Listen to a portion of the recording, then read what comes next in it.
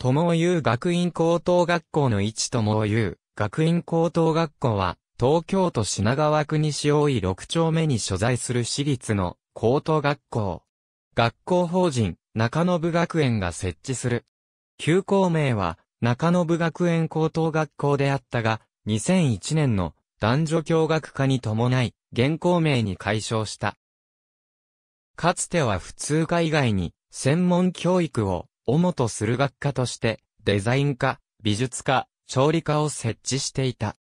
系列校として東京芸術専門学校を併設していた。中延学園高等女学校の開校当時は制服としてセーラー服を採用した。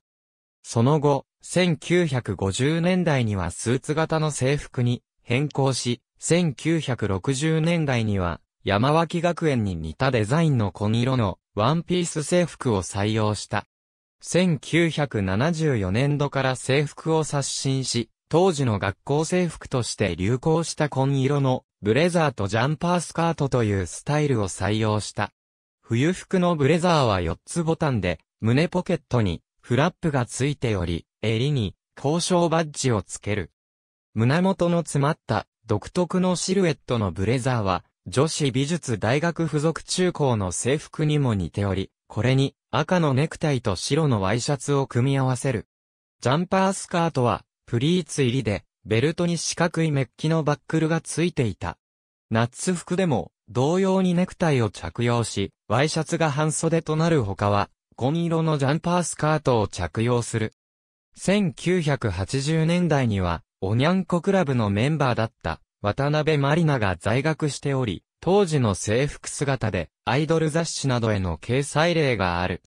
その後、生徒や保護者から夏場にネクタイとジャンパースカートは暑いという声が上がったことから、1991年度より、成果服として白のポロシャツとこれに合わせるための紺色のプリーツスカートが追加された。翌1992年度から制服を変更。冬服は紺色のブレザーとスカート、夏服は紺系と緑のチェックのベストスカート、細いストライプのブラウスとなった。リボン体は赤系、紺系のチェックの2種類があった。白のセーター、ニットベストも用意された。2001年度から後面変更と男女共学化に伴い再度制服が変更され、男子制服が制定された。2019年度から制服の細部が変更されている。ありがとうございます。